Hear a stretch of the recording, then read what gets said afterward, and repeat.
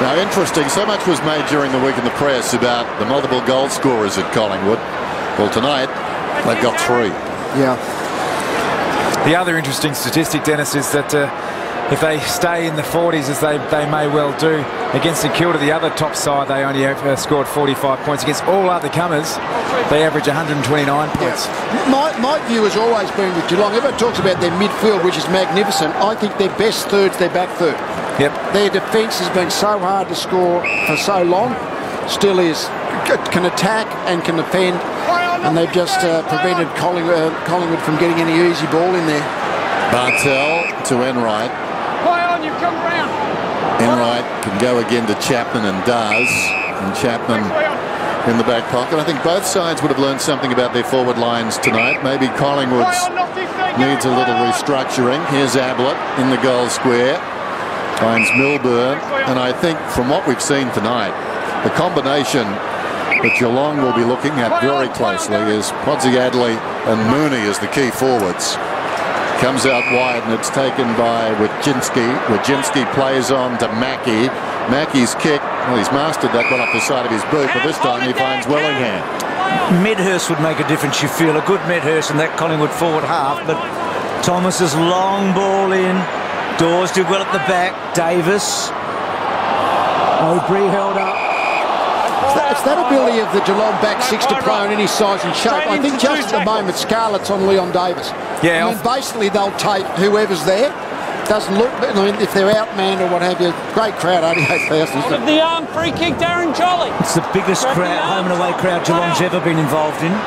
As Jolly goes long to full forward, Scarlett getting back to Milburn. So 88,115 Milburn. Is that out on the full? It is. Your biggest home and away crowd ever for Geelong. I think it's the biggest home and away crowd without the Bombers involved since 1981 for any two teams. So we've had three crowds of 80,000 plus this year and Collingwood have been involved in all three. Says a lot about football in Melbourne, doesn't it? Magnificent. That's a good kick. No, fading, fading, fading. Jolly doing the roving. Handball's back. Well done, Mackie. Geelong keep their nerve. Well, it's out on the fall again for the third time in this quarter. It's a fair point you make, Leigh. When you look at the uh, Geelong defenders man for man, I guess they range from, say, your 189, yeah. your Corey Enright, and your Josh Hunt through to your 192, 193, Andrew Mackie, Harry Taylor. So fantastic uh, spread of height and speed. Um, got found out against uh, uh Carlton. Yeah. But uh, they seem to be a unique case at the moment, the Blues forward line. Thomas plays on, long ball, down towards full forward, his 19th possession, lurking behind. Wellingham had it for a moment, socked away a couple of times by Johnson. Standing his ground was Toovey. Johnson came again, close to the boundary line and bundled out as Bartel. Talking about Carlton, well, Carlton beat Geelong in round five and Fremantle. Who would have thought? Fremantle in round three, but of course that game in Perth, but Fremantle played very well. Boundary throw in. Hawkins goes after the footy. All time consuming this. Bartel knows that. He ties it up. Two and a half minutes to go. What you would say about Geelong also, uh, Ottens and Corey are probably two of their best half a dozen players, and they're not uh, they're not out there. So yeah. they've got improvement, and I think that having that sort of softer training regime early in the summer months is going to help them later on too. And so Wellingham Collingwood have got a deep list as well, haven't they? Yeah. Fine-tune this team a number of times through the year. Johnson got it from Varcoe. Varcoe's kicks a good one to Stokes. This has been the difference tonight. They've had more open forward lines when they've gone forward. Stokes turns his man inside out and then leans back, and that's going to be very sweet. Stokes kicks his third. He'll feel like he's back.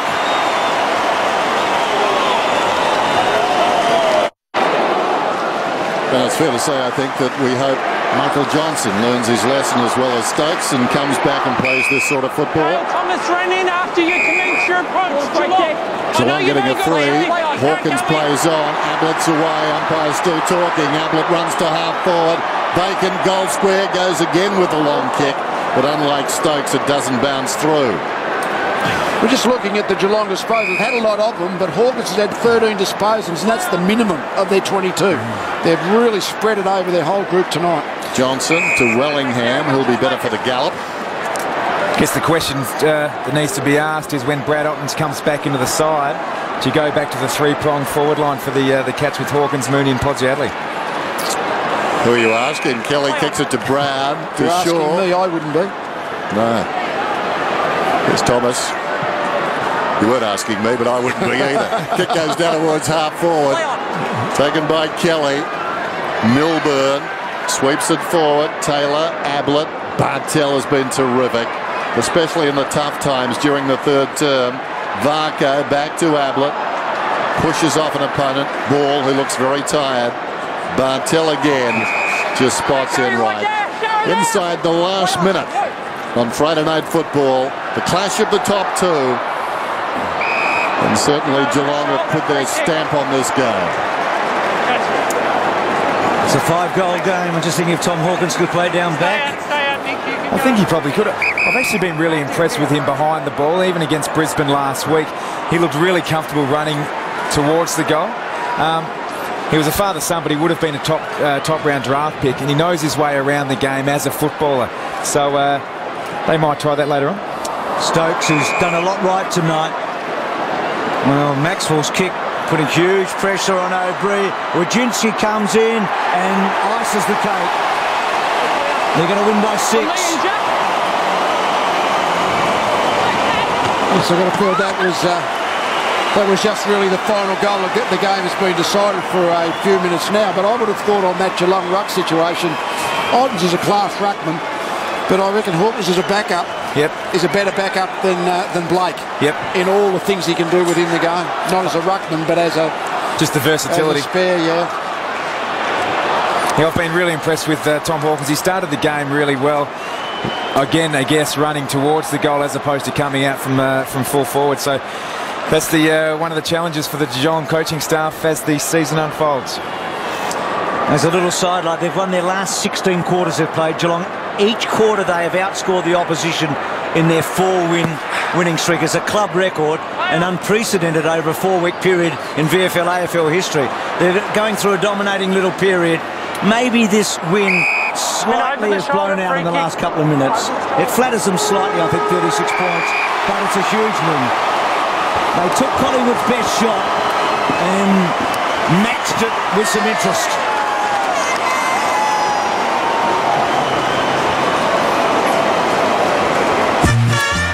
12-14 to 6-14 and the biggest crowd ever to see Geelong in a home and away match. And the Cats win by 36 points.